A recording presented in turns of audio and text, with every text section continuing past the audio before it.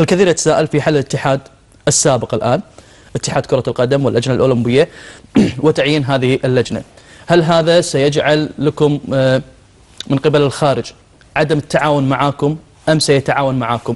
في حالة عدم التعاون شنو هي الخطط البديلة؟ وفي أيضا لإرجاع الحركة الرياضية بالكويت شنو هي خططكم ورؤاكم؟ إيه، شوف الله يسلمك. إحنا هدفنا الآن هو يعني الرياضة المحلية. نعم. يعني أقول لك ما بي مو عشان كذي قلت لك أنا ما أبي أوعد إني أقول لا يبا باكر أنا بر- برد النشاط.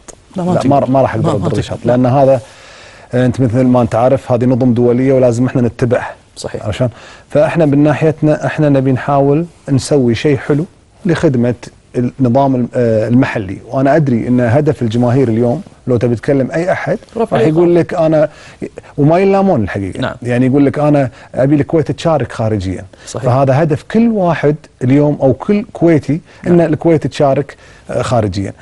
فيعني مثل ما أنت عارف يعني إحنا ودنا إن هالشيء يصير. يعني شفت الحزن اللي خيم علينا قبل فترة بالأولمبياد يعني الذهبية الحين على سبيل فهد الديحاني وعبد الله يعني الحين- ما رفع العلم ولا النشيد الوطني. أكيد. يعني الحين الله يسلمك أنت عارف يعني الإخوان اللي كانوا قبلنا بالاتحاد نعم. صار لهم عشر اشهر ماكو يعني بوادر عودة للنشاط. فما بالك إذا هم قيروا اللي هم جايين من الفيفا ومعترفين فيهم فما بالك وجو لجنة ثانية فراح يكون الصعب التعامل. ولكن في أكو أنا كوجهة نظري أشوفها ولعل إني أكون مصيب ولعلي أن أكون مخطئ فيها. في أكو طريقة واحدة وأنا أشوف يمكن آه، سلك واحد إنه يرجعنا إلى آه، إن المشاركات الخارجية وهي الخصخصة.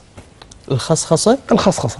خصخصة الأندية خصخصة- المحلية؟ خصخصة الأندية وتصير الأندية آه، مخصصة واللي تملكها شركات وكذا. في هذه الحالة الحكومة تكون رفعت إيدها أيضا كل من من الرياضة وف- وراح ترجع يرجع النشاط فيها. هذه كوجهة نظري أنا يمكن لعلي أنا أكون مخطئ يمكن لعلي أكون أنا مصيب فيها ولكن إن إحنا كلجنة معينة نوعد جماهيرنا أن نقول لهم تعالوا ترى باكر راح أرد لكم النشاط. أنا ما أوعد في هذا الشيء. إحنا كل اللي نبي نسويه راح نحاول إن نسعى جاهدين أن نطلع في منظر جميل في آه، إيجاد آه، دوري تنافس قوي آه، في عندنا أفكار أن نخليه دوري درجتين في عندنا أفكار كثيرة أن نحمس الدوري ون يعني نطوره ونعدله شوي. أنا أتكلم محليا يعني.